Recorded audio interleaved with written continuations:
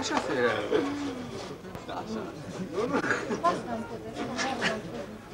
Așa.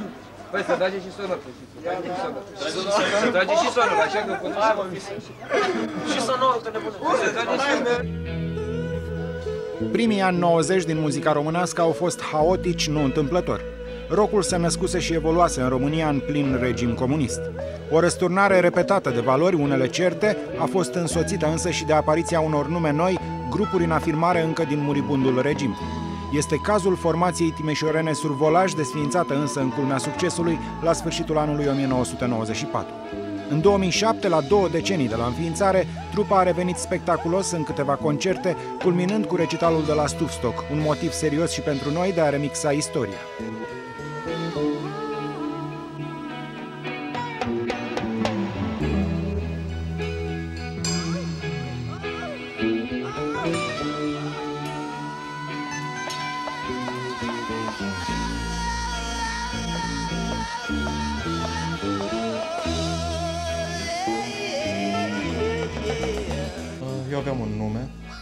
Un set de tobe fără pedala de la toba mare, la care cântam eu prin casa. Și după ce l-am găsit pe Levi, îți dai seama că nu mai aveam ce să bat în tobe și m-am apucat de microfon. În aceeași perioadă era Dan cu Cătălin, care căutau gitarist și tobar. Și ne-am întâlnit la un team rock, unde se pare că a cântat o formație care nu prea ne-a plăcut nici nouă, nici lor. Și am ieșit din sală să discutăm și atunci ne-am întâlnit acolo, prima oară, în 87.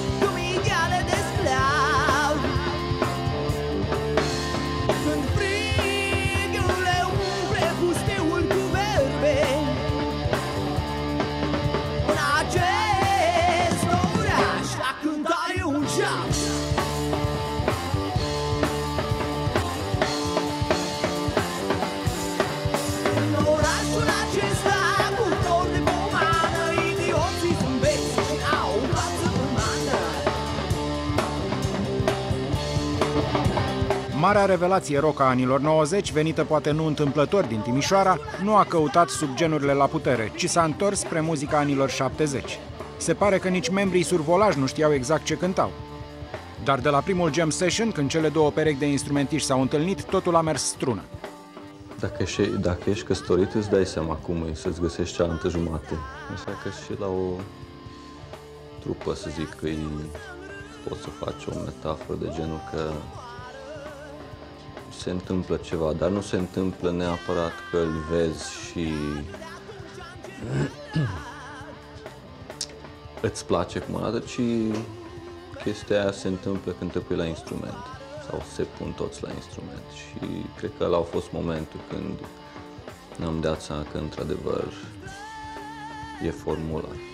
Pe parcurs, după aia, mergând pe la diverse festivaluri, am observat într-adevăr că nu prea se cânta ce cântam noi și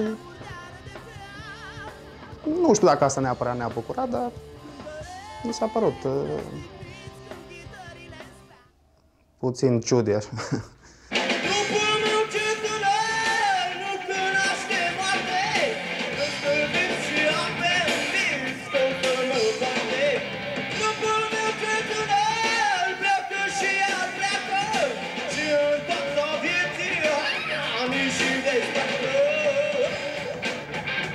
Prima apariție la un festival celebru în epocă a însemnat și primul premiu pentru popularitate. Întâlnirea cu celelalte grupuri, colege de generație, n-a influențat stilistic repertoriul, dar a făcut lumină în ceea ce le venea să cânte junilor timișoreni.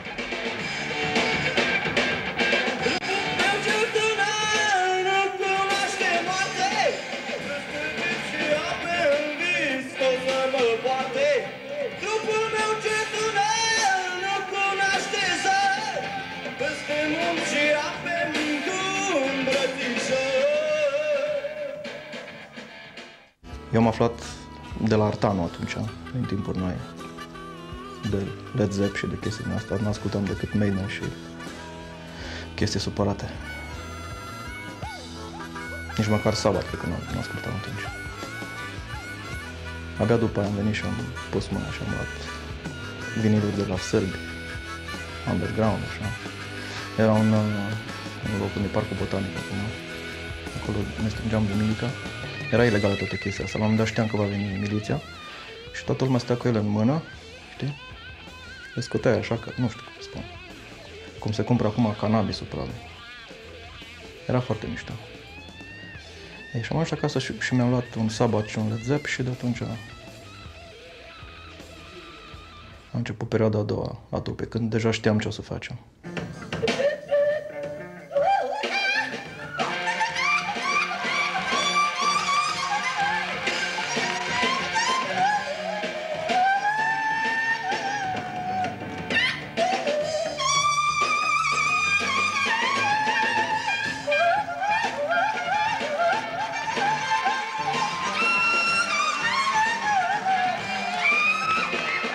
În 1990, survolaji erau mari premiați la același festival de vârf de top. Lipsesc imaginile, dar sigur le crescuse părul liber. Mai mult, scria Florian Pitiș când îi descoperise, ei nu mai cântau, ei erau muzica, tot corpul lor cânta, tot corpul lor era într-o stare de creație, toată ființa lor și sufletul și mintea și fiecare celulă din trup. La Rock 91, da, am cântat, uh, s-a făcut chiar un film de către TVR în perioada aia. Uh, Țin minte, am cântat dimineața. Am, ultima trupă am fost, cred că, la răsărit și uh, uitându-mă la înregistrare, trebuie să spun că mi-a plăcut foarte mult concertul ăla. Chiar dacă i s-a rupt lui Cătălin o coardă, dar uh, e și ok. Da, deci a fost, uh, a fost surprinzător pentru noi ma- să ajungi să cânti lângă nume ca și Young Gillan sau Uriah Heep sau chiar și pe scenă cu Phoenix și nu când au apărut prima oară în țăr- țară, au reapărut în țară și oamenii au stat până la 5 dimineața să ne asculte și pe noi și au venit din toate părțile țării cu cort, cu sac de dormit, cu vorba aia. Și prin astea simțeam că ex, ex, nu expansiunea, să zic așa, m, urcușul a fost foarte rapid, adică o s-a decurs în 3 ani sau 2 ani, să zic așa.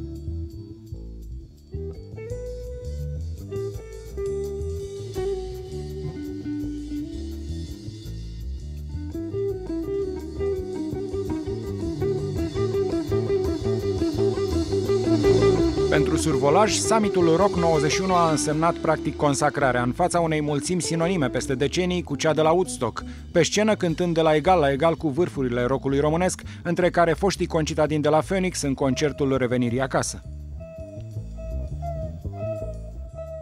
A fost o fază mișto la primul concert al nostru, care a fost la Buzău. Am avut nevoie de ștampile, de nu știu ce de aici, știi, să fim trimiși cumva, să bla bla, nu mai țin minte. Casă de cultură, de incultură, de ce era. La tineretului socialist și era, aveam un text um, la ora ascultam Maiden și Metallica și na, îți dai seama. E ora, e miezul nopții și ceasul e târziu, e ora când morții ies din sicriu. Și au căpiat aia când au văzut și mi-au tăiat așa peste sicriu și au scris pardesiu și zice, fă ceva cu asta. E miezul nopții și ceasul e târziu, e vremea să porți pardesiu. Au pus ștampila pe chestia asta și am cântat ce am vrut eu. Întâlnirea de la miezul nopții, emisiunea Rock Etalon a televiziunii române, realizată de Petre Magdin, i-a avut de la primele ediții invitați pe survolaj. Chiar și acolo ei făceau notă discordantă cu celelalte grupuri chemate la filmări. Piesele timișorenilor, deși decupate stilistic de cu două decenii în urmă, sunau foarte proaspăt.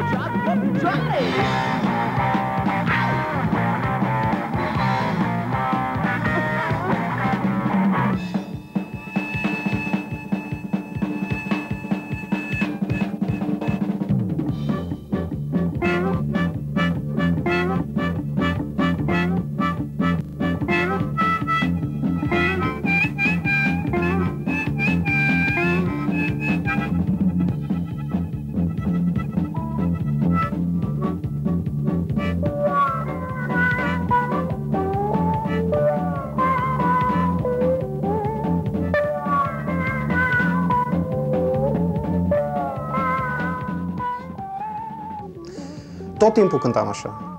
Deci dădeam absolut tot din noi și la o banală repetiție la fel cântam. Și acum de altfel, și la repetiții cântăm ca pe scenă. Și într-adevăr, la repetiții ne simțeam bine. Mai ales la repetiții, repetițiile astea reușite, unde puteai să jur că e concert. Dacă ascultai de afară și nu vedeai că suntem la noi patru în sală. Și ne-am învățat așa să cântăm. Și atunci, automat, și pe scenă cântam la fel, deci nu era ceva deosebit. Și, ce să spun, uh, chiar ne s-a părut normal feedback-ul ăsta de la public. Pentru că dacă noi ne simțeam bine, nu văd de ce altcineva nu s-ar fi simțit bine în preajma noastră. Da, faptul că au început să se sune telefoanele, să fim chemați în, în, la apariții serioase, sigur că ne-a dat un impuls, dar uh, oricum făceam serios.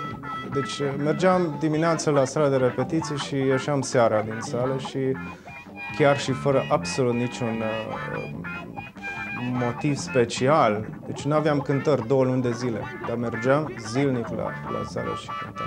Pur și simplu ca și un fel de job care îți, chiar îți place. Mai marele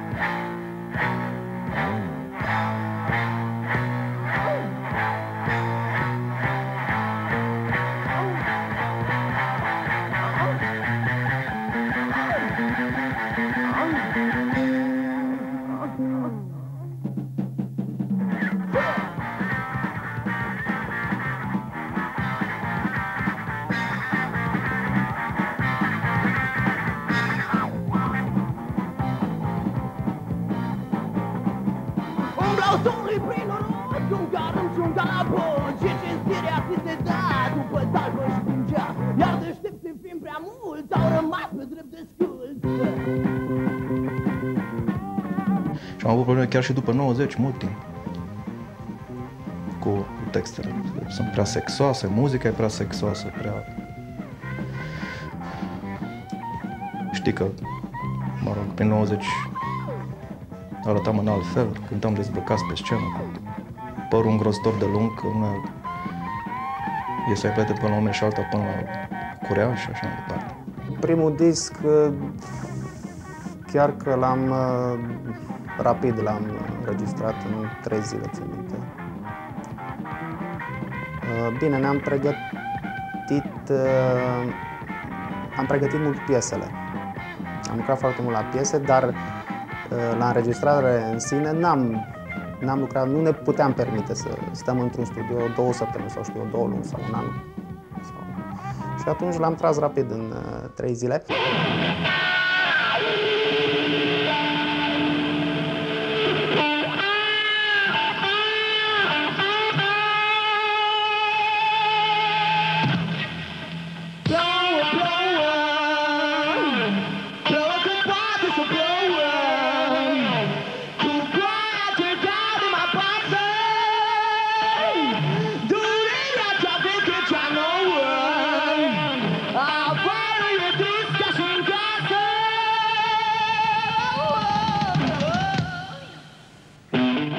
Primul album discografic Survolaj n-a avut mai mult de trei piese, însă cu durate cuprinse între 6 și 18 minute.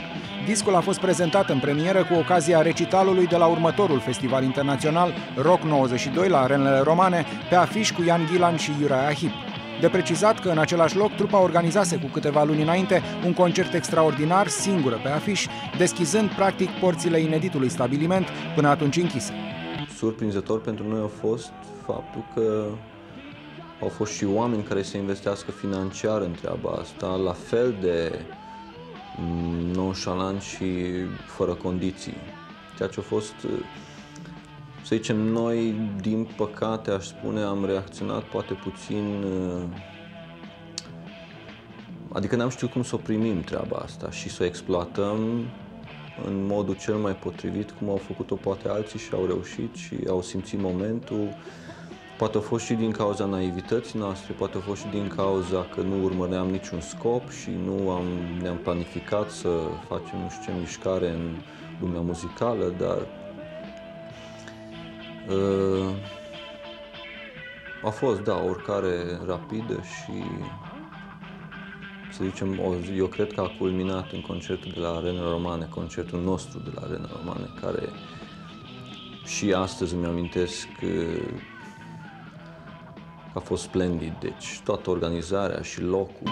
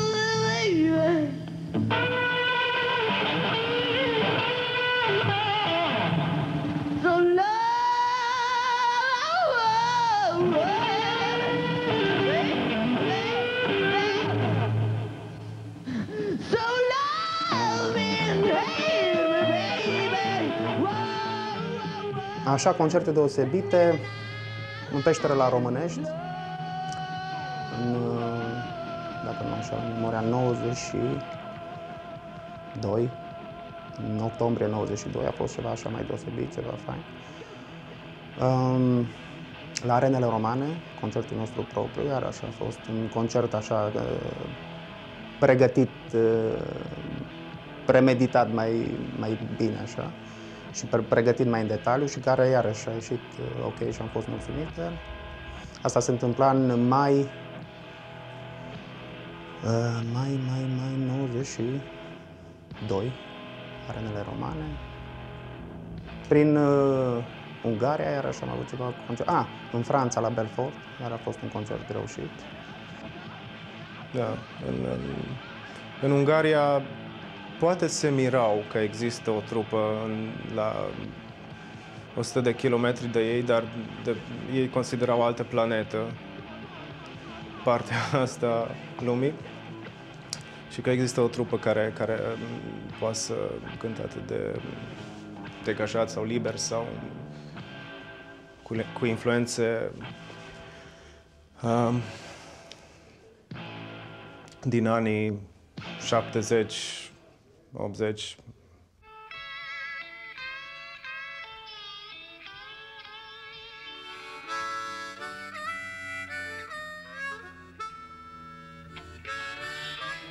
The woman I love, she talked with my best friend.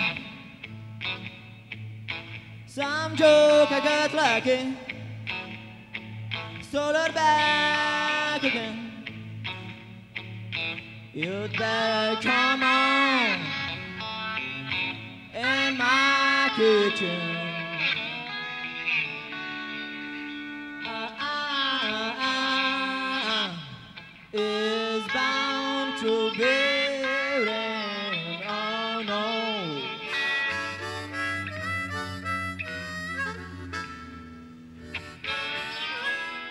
When a woman gets in trouble, everybody puts her down. She looks for a good friend, but no one can be found. You'd better come on in my kitchen.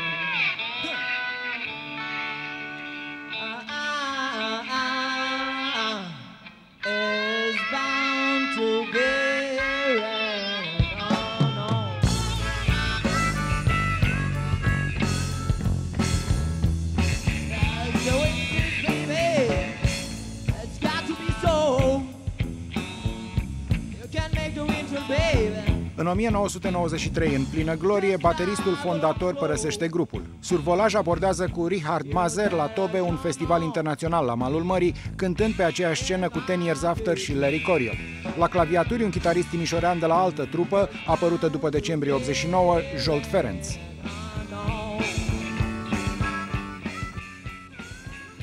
Și am avut norocul să cântăm foarte devreme afară, în Occident, imediat după 90.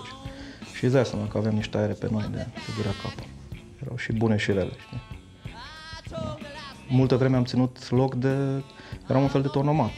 Când nu venea Marilyn Manson după Placebo și între ei Depeche Mode, survolajul era de toate. De așa adunam stadioane întregi. Erai punkist, erai depeșar, erai metalist, ce să, met- orice. Dacă se întâmpla ceva într-o, într-o seară, se întâmpla numai aia în orașul respectiv. Sau poate în luna aia. Și atunci venea toată lumea, buluc. O chestie destul de nașpa acum, la reînființare, știi? Eu n-am cântat, de, de exemplu, niciodată într-un club.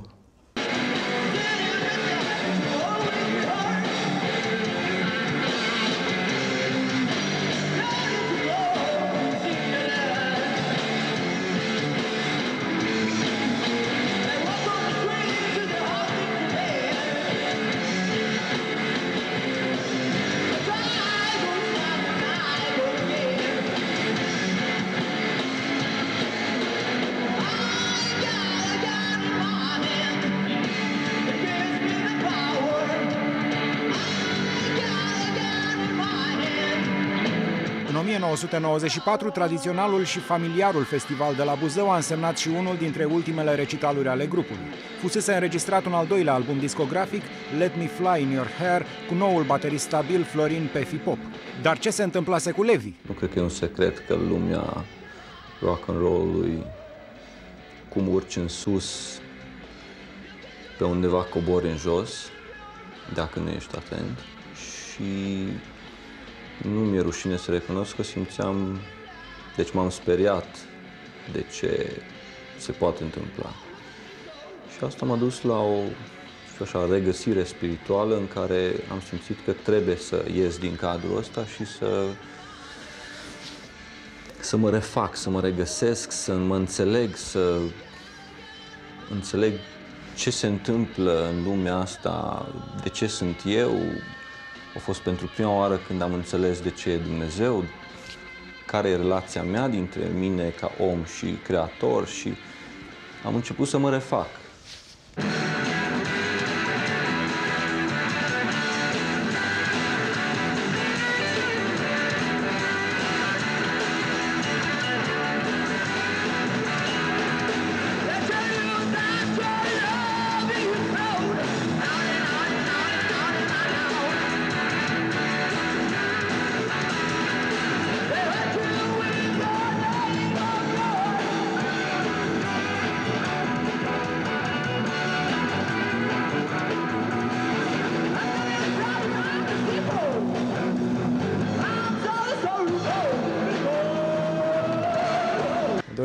Album l-am înregistrat la Cluj. Uh, Era, din păcate, deja uh, după ce a plecat Levi, l-am înregistrat cu, cu Florin Pefi. Um, E, e altceva decât primul, dar uh, reprezintă o perioadă din viața noastră și nu îmi pare rău că s-a întâmplat să înregistrăm și nu îmi pare rău că a apărut acest album. Se cheamă Let Me Fly in Your Hair. Pe vremuri, pe vremuri nu compuneam. Pe, vrem, pe vremuri cântam extrem de mult, mai mult de 10 ore pe zi, și asta zilnic, inclusiv de Revelion. Uh, Stăteam foarte mult împreună, nu existau copii, familii, firme și așa mai departe. Și din ce cântam, dacă ne plăcea o chestie mai mult, o combinam, o dezvoltam și ieșeau piesele. Acum, în schimb, a fost altfel. Între timp, uh, și eu și Jolt am avut alte trupe după survolaj, Chin, respectiv Baraca, Levi a cântat în Jais și uh, se simt, uh, sunt uh, reminiscențe, sunt influențe de acolo și chiar mă bucur.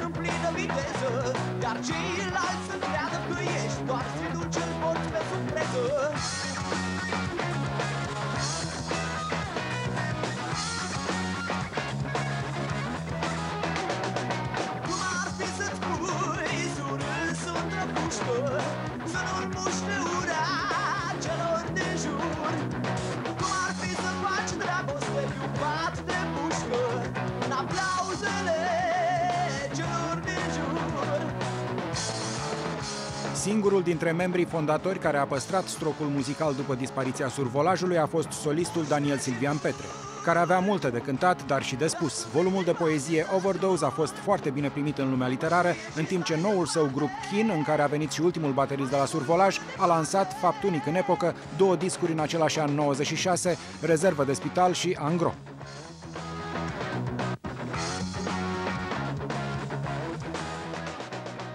Chin e o trupă de care mi-e dor foarte tare. Cred că a fost prima trupă de rock alternativ din România. Prin 95 nu se mai făcea așa ceva. Și sunt multe chestii de acolo. În primul rând ne-am propus să cântăm numai în limba română. În al doilea rând să cântăm piese definite. Nu, oricum nu mai avem timp de jam session la sală și mai departe. Ne sună telefoanele în continuu. Asta a fost o mare problemă în prima jumătate de an. Ce facem cu telefoanele? Ne sunau telefoanele și pe scenă. Uite și acum sunăm telefon.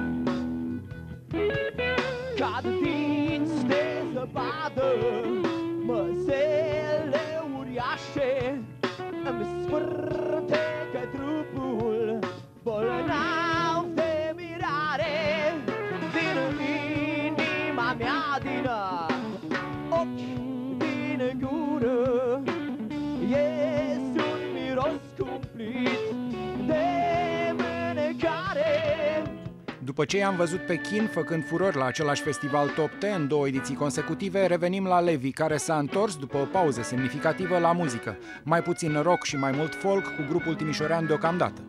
M-am rupt complet de muzică câțiva ani de zile și deocamdată a fost, uh, să zicem așa, salvarea lucrurilor care chiar Dumnezeu le pune în tine. Adică talentul care mi-am dat seama că nu e bine să-l irosești și să-l arunci la gunoi și să consider că mm, te să-l ții deoparte și să-l îngrop că e te distruge.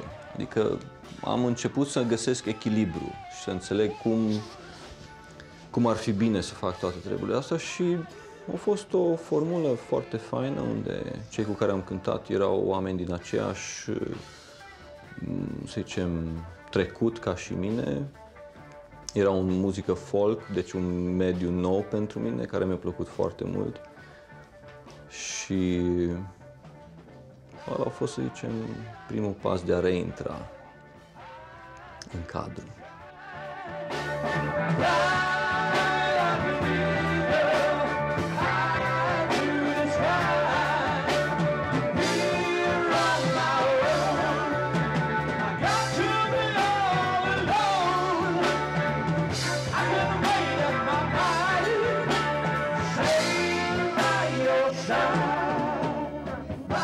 festival de jazz și blues celebru după 2000, practic cea mai importantă manifestare estivală din România, cu o formație timișoreană mai apropiată de survolaj, nu numai stilistic, ci și prin cei doi vechi colegi, Levi la tobe și Jolt la chitară.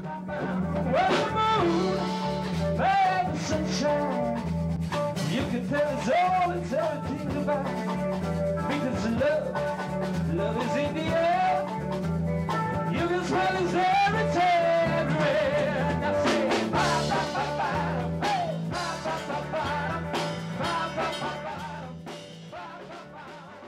Nu chiar imediat după ce ne-am despărțit. După am deschis un club de blues în Timișoara, unde s-a întâmplat să ne întâlnim câțiva muzicieni din zonă sau nu chiar din zonă, și din București și din alte părți ale țării. Și s-a întâmplat să cântăm pur și simplu jam session-uri, uh, nimic uh, regizat sau nimic uh, stabilit din timp. Și la un moment dat uh, ne-am întâlnit într-o formulă în care am zis că ar trebui să mai uh, să ne mai întâlnim. Era formulă care a luat uh, după aia și numele clubului Crossroads.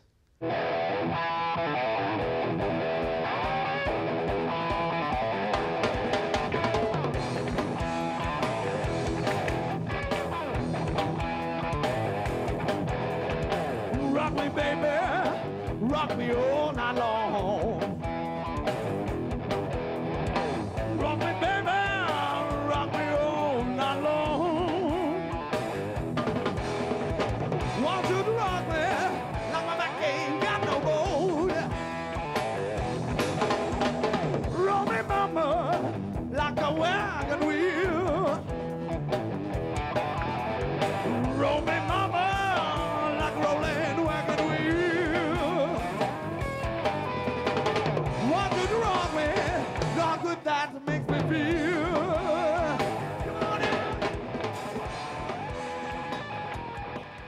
Ceea ce cântam la Crossroads a fost, cum să zic, uh, o explozie continuă. Deci dădeam tot ce puteam și bine, cântam în general numai cover-uri și câteva piese proprii. Și a fost efectiv o muzică, muzică de bucurie, să spun așa. Au apărut uh, două CD-uri la concertele de la Sighișoara, de la Festival de Blues, unde, unde avem și noi, și noi, cred că două sau trei piese. Crossroads, la al doilea recital consecutiv la festivalul ajuns între timp celebru, summitul bluesmenilor români și nu numai. La claviaturi, din nou, chitaristul care colabora cu survolaj în 93 la Mamaia. Un moment care nu prevestea nicio survolare. Cătălin, vechiul basist, nu mai cânta, iar solistul Daniel Silvian Petre înregistra de unul singur la toate instrumentele piese aproape experimentale.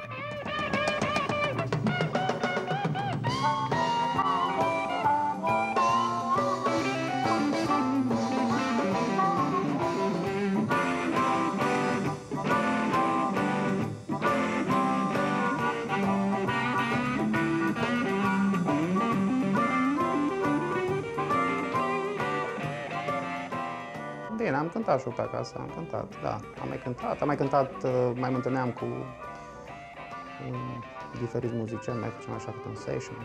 Chiar și cu băieții mai am întâlnit de câteva ori, dar rar de tot. Și bineînțeles, acasă mai... Dar așa, într-adevăr, uh, nu pot să spun că am fost activ în viața asta muzicală din România în perioada asta.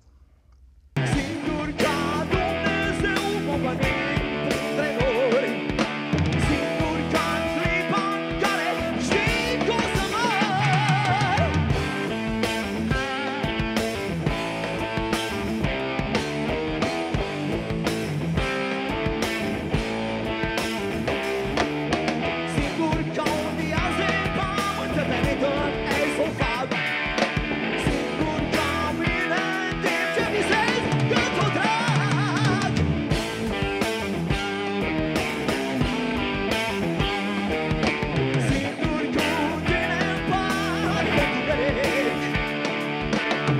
Când nimeni nu se aștepta, în toamna lui 2006, cei patru membri fondatori se reîntâlnesc în premieră, inițial pentru a aniversa cumva cele două decenii trecute de la înființarea grupului. Un an mai târziu apăreau pe cea mai mare scenă rock românească, cu piese vechi, dar și compoziții proaspete.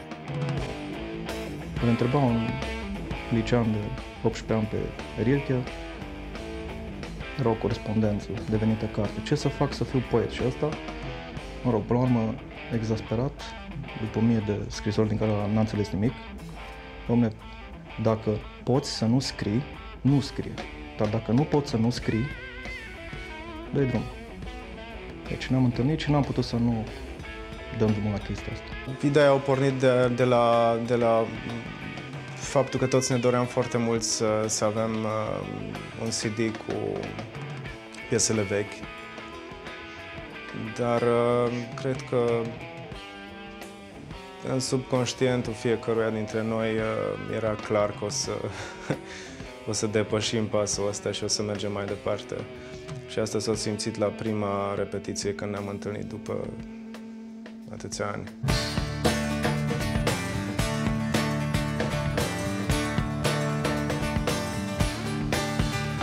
În orașul acesta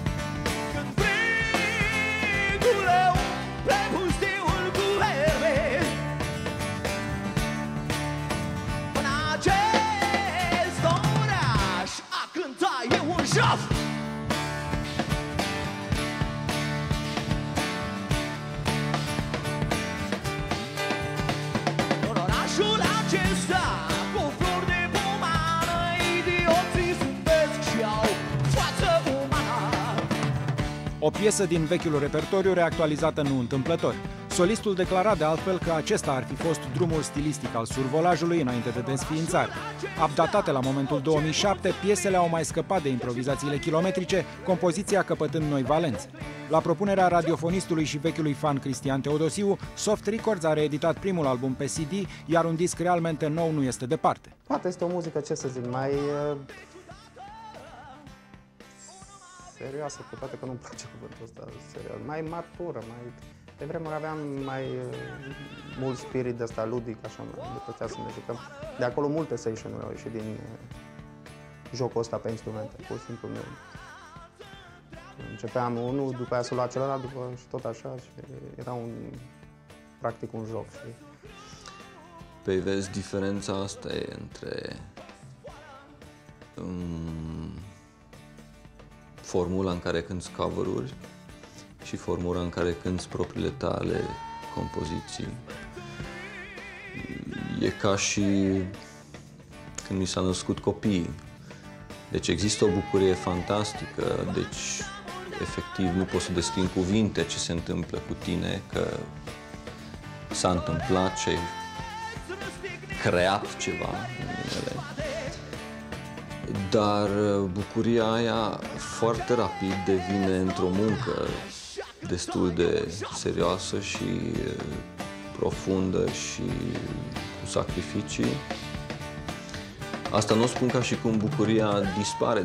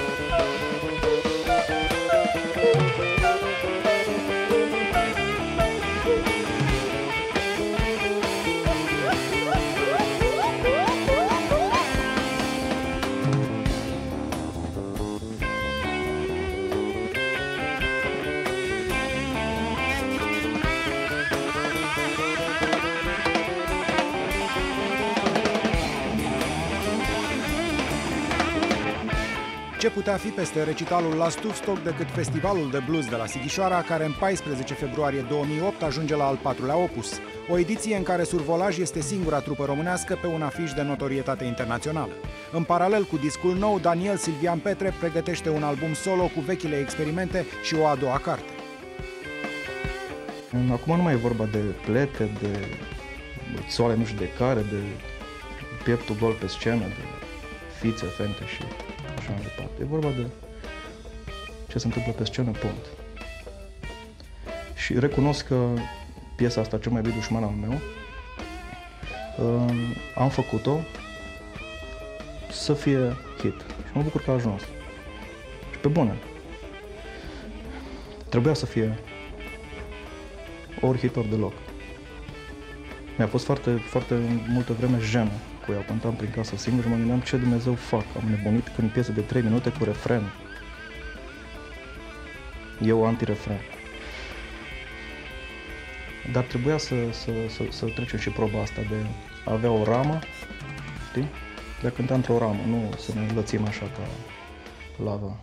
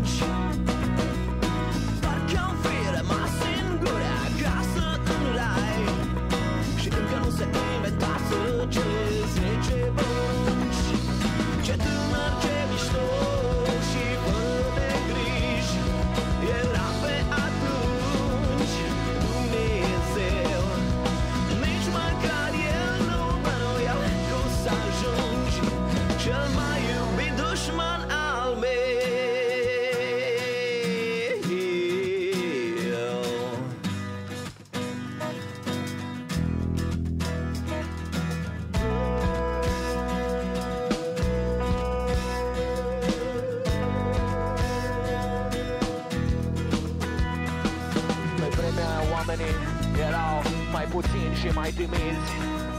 Pe vremea aia în copaci creșteau flori nu omizi Pe vremea aia oamenii erau mai puțini și mai timizi.